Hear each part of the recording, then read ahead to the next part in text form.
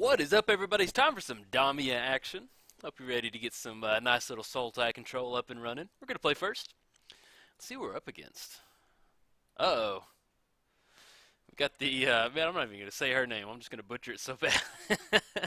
okay, so as far as our opening hand goes, we have Windswept Heath, Creeping Tar Pit, uh, Sylvan Tutor, got a little Villainous Wealth. Uh, I may go ahead and mulligan this one. It's just no card draw, no lands. Yeah, let's go and mulligan this one. River of Tears, Opulent Palace. We still have Villainous Wealth and the Acidic Slime. Okay, yeah, we'll just go and keep. I don't want to go past that. Oh yeah, we'll put that on top. Okay, let's get our command zone set. There we go. Okay. Hit my F keys, and uh, yeah, we'll go and hit the Opulent Palace. I'm going pass the turn. But yes, we're playing Damia, Sage of Stone. So she has Deathtouch. Skip your. She has Deathtouch. Skip your draw step at the beginning of your upkeep. If you have fewer than seven cards in hand, draw cards equal to the difference. Uh, let's go ahead and get down, burgeoning down and get down River of Tears, and then we'll go past there. Hopefully, we can get into a little bit of card draw, some mana, some mana rocks over there. But yes, we're playing against. Uh, man, Mariki Rebray.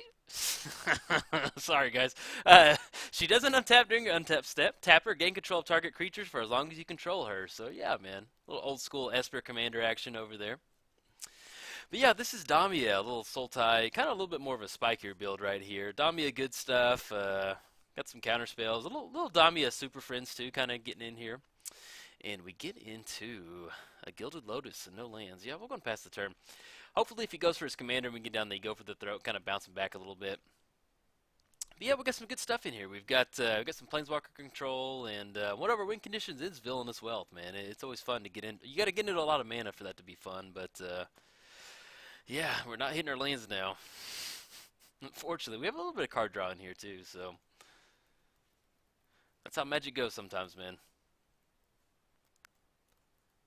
And looks like, well, he's got that vivid meadow down, so he can get into his commander. Get into Bayou. There we go. We'll take that. Get the Bayou down, and yeah, nothing else we need to do. Going past turn.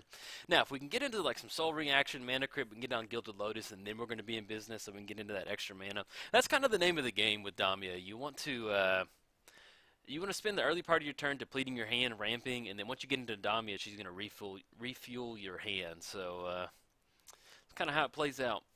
Crab Umbra. Yeah, let's go ahead and go for the throat in response to that. So we're going to go for yeah, black right there.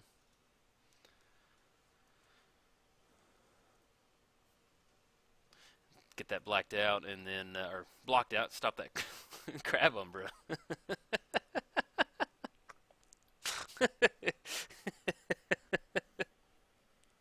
I just I I've only seen the I got into Return to Ravnica.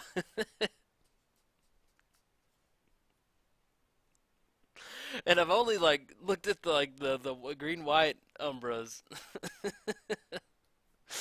And I don't know, that guy just looks funny inside that like little horseshoe crab. I don't know. it looks like what's his name from uh, Mortal Kombat. okay.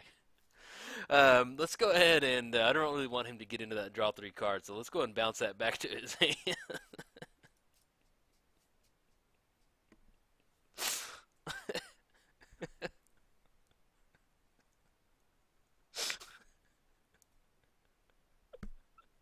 I'm like losing it over here, guys. I'm sorry. Okay. Whew. All right. Let's get let's get this shit back on the road. Okay, that man, I just lost it with that crab umbra, man. I don't. It's just like I said it, and I looked at it, and I've never seen it before. And I think what's making me laugh is the the eyes on it, and then just like the dude inside of it. Like, like if that dude was coming in hot on the beach or something, and uh, like I don't think I would take him seriously. Like he's got the little glowing hands, he's got a crab. I don't know. All right, so we're gonna go for the beast within on that uh, Mr. Wizard. Draw three cards over there, ancestral wizard over there. Okay, boom shakalaka. Get out of here, man. I'll take a beast token. Maelstrom Pulse. Okay, man, we uh, turn eight, and we've got three lands on this bad boy. I've got a lot of lands in here hopefully we'll get we'll get it. So we've got a ton of ramp in here too. I don't know what's going on, man. Tried to record a uh, Mogus video earlier, and I just I got stuck on three lands just like this the whole time. So we shall see. Magister Sphinx. Okay, enters the battlefield. Alright, total becomes 10. Appreciate it, buddy.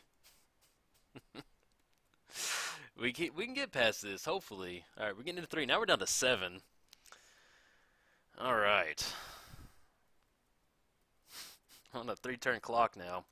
Um. So we go. Maelstrom Pulse on the the the flying dude. Okay. So we get that blown up. Uh, we got the beast token swinging in next turn. It's gonna knock us down to four.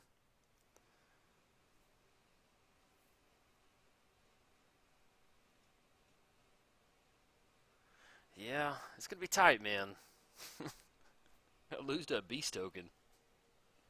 that that's pretty nasty right there, man.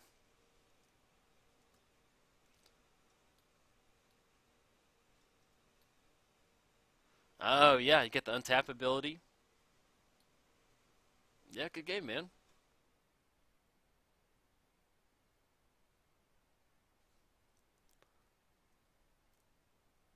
Yeah, that's exact siege right there, man. Good game, buddy. All right, if you enjoyed the video, I don't know if I'll post this, but if you enjoyed it, like and subscribe. Thanks, guys.